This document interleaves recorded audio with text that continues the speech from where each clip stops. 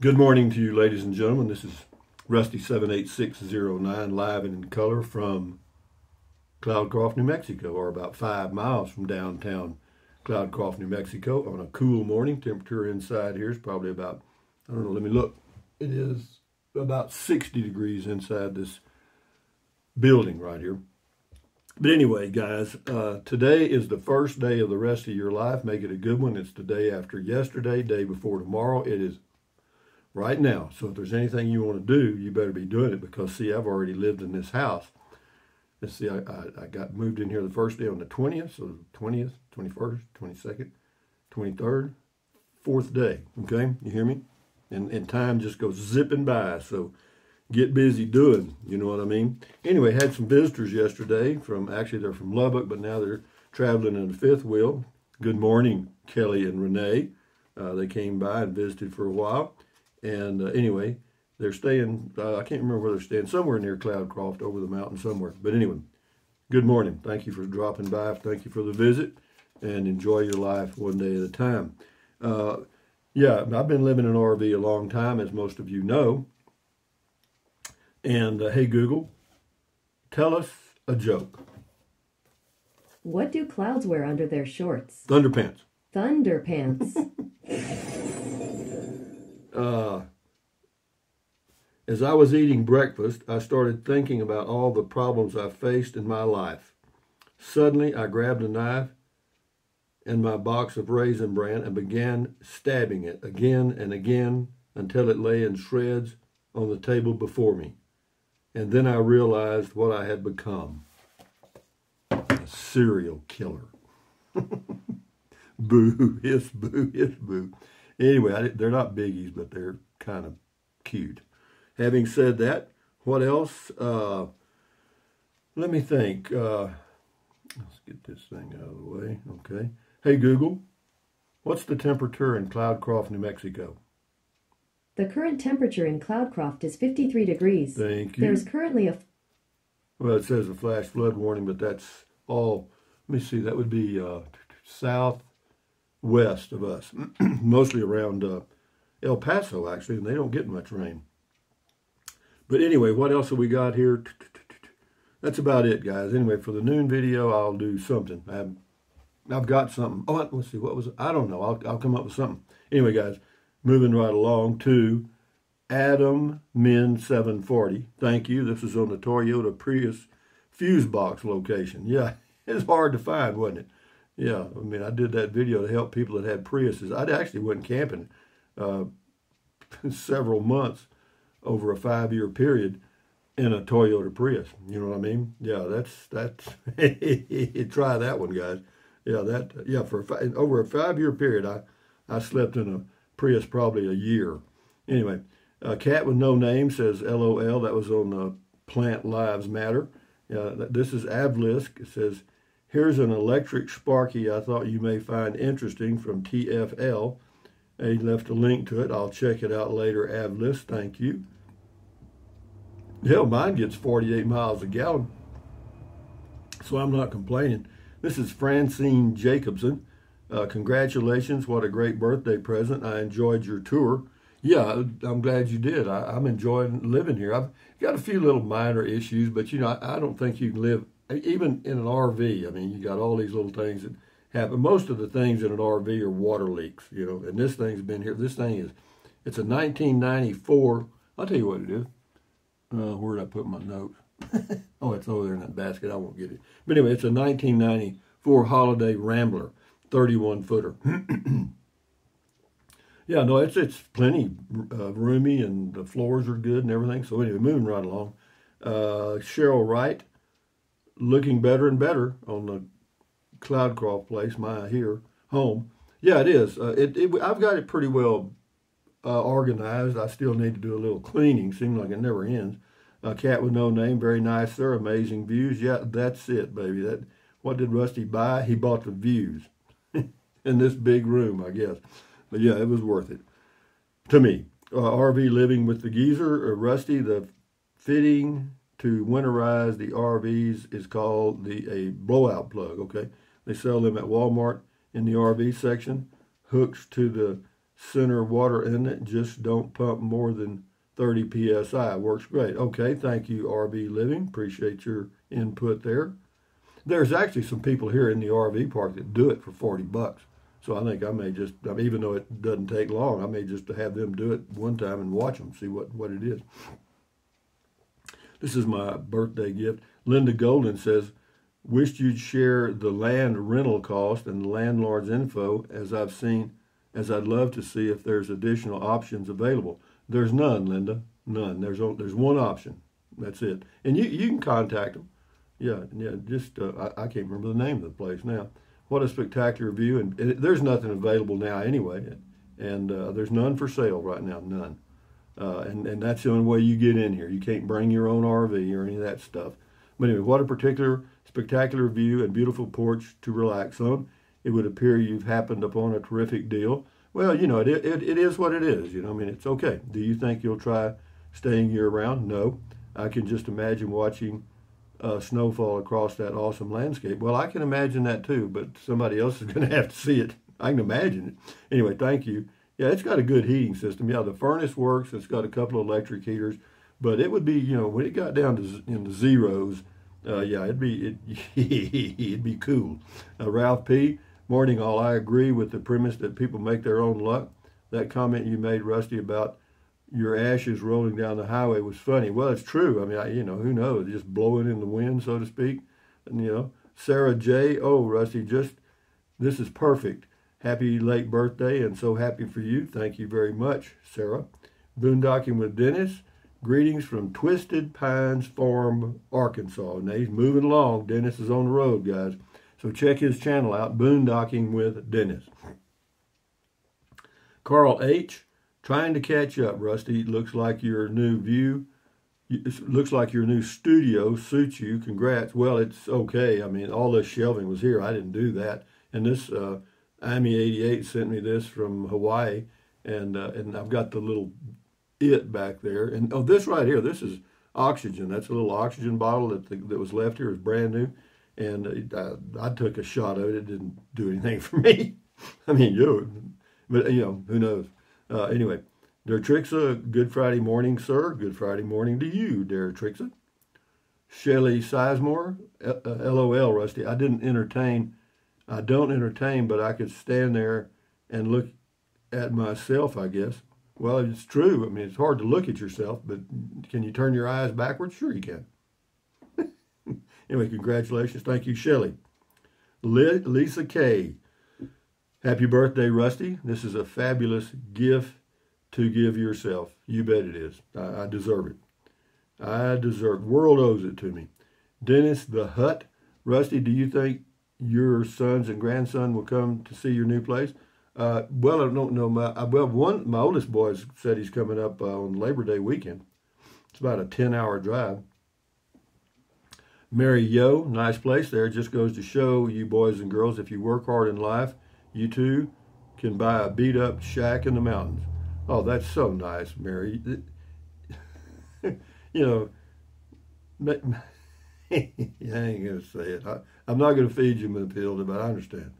Uh, Joey Benson, blowing smoke again, aren't you? Yeah, here's another little tongue-in-cheek deal there on driving the uh, Class C. You know what it is. You know sometimes I don't know if people get jealous or what, but you know they just want to stick you. You know what I mean? Yeah, I mean it. It just anyway. That's people. I mean, if you can't stand the heat, don't go in the kitchen. And believe me, YouTube is a hot kitchen.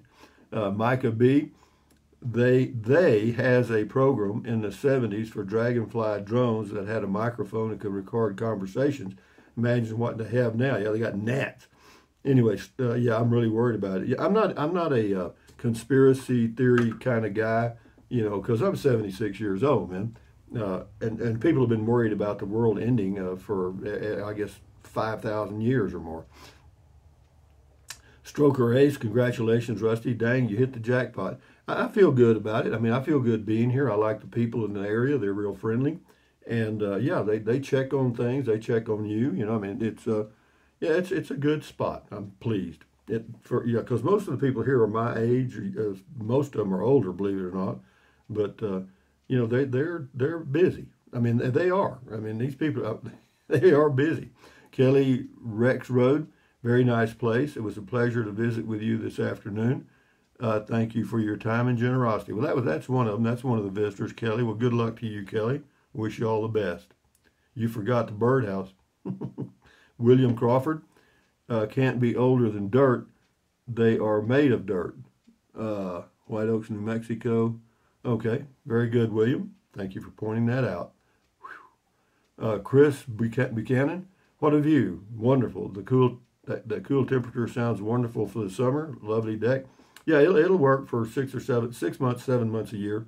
Yeah, and then back to Texas somewhere. And eventually I may build a cabin in Atlanta and then just drive back and forth and not have an RV. But I'm in no hurry. I mean, I, uh, you know, I, am just taking it one day at a time, guys.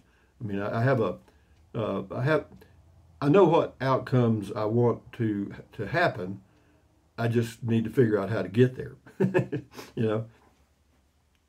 63 Connie, uh, glad you found a new place, nice view and very private. What more could one want? Uh, nothing's a good thing to want. I, I, I, I don't want anything. I, I, just want the water leaks to go away, and the only way to get rid of them is for me to do something, right? Tony John, why April to October? Are you required HOA to leave? Maybe the snow and cold. I don't get it. Uh, I, I, I do. It's just the rules. You know, it's the way it is. Uh, gardening with Albert. Is it time for an oil change so soon? Well, I changed it at 5,000 miles uh, just because it was the first oil change. And, you know, it's, it's good to do the first oil change early in any vehicle, in my opinion. Your rig is very new with uh, with the newer oils. I drive my van well over 3,000 miles. Well, that's good. I mean, I had 5,000 miles. People talked about an oil change every thousand miles. Uh, you don't need to do that. I mean, in fact, my next oil change probably eight or 10,000 miles. Who knows? Uh, Adam Richardson, I love to see the extra pep in your step, Rusty. Yeah, the the uh, the cool the cool temperatures are a real uh, motivator. You know, I mean, you, you just feel good all day because you can wear a light jacket like I'm wearing this right now because it's cool in here. I don't have a heater on. I could turn it on and raise the temperature pretty quick, but I don't. I mean, I like it cool. It's this is camping to me. I mean, I'm I, I am continually camping. That's it. You know, even when I get a cabin, I'll just be cabin camping or whatever. Scotty Thompson, cool video taught Rusty. Thank you. And then we got Linda Crawford. says RVing is fun and can be freeing and economical, but having something of your own is also thrilling. Congratulations. As we all get older, living in a place of our own as a base camp or home is security too. Yeah, predictability is security. You know, if you know where everything is in the community, where to get all, you know, gas and and food and stuff, you know, and you know the shortcuts to get there, you know that that's security. You feel good doing that, and and I'll eventually get there here, get there here. Did you get that? Camping therapy. Why not store the RV right there in, in the carport? Because you can't. Uh, sunny roses how awesome is this find? Awesome, Rusty. Well, it's okay. I mean, and it was pure, not pure accident, but yeah, I'd, I'd looked in here uh, every year for the past two or three years. You know, I mean, I'd seen some for sale and drove over here and looked at them. And uh, one time had sold before I drove over here. The other time it was still here, but it was in a location I didn't like. You know, there was no view. I mean, there's there's a hundred of these places in here, man and uh, you know some of them are right in the middle of the trees and stuff, and or some of them are really close together. So you know this just happened to be a good one at a good time. I mean, and that's the way it is. Timing. Uh, Paul Byram second. Buy some pistachios and wine for some observation time deck observation deck time. Rusty Pismo Paul. I may do that. You know they're they're good. I, they're okay. I've eaten them. I mean they're not super. I, I've got some mixed nuts that work for me right now. Anyway, this is Laura Marty. What a great place. Thank you. Uh, this is Pilot Diana.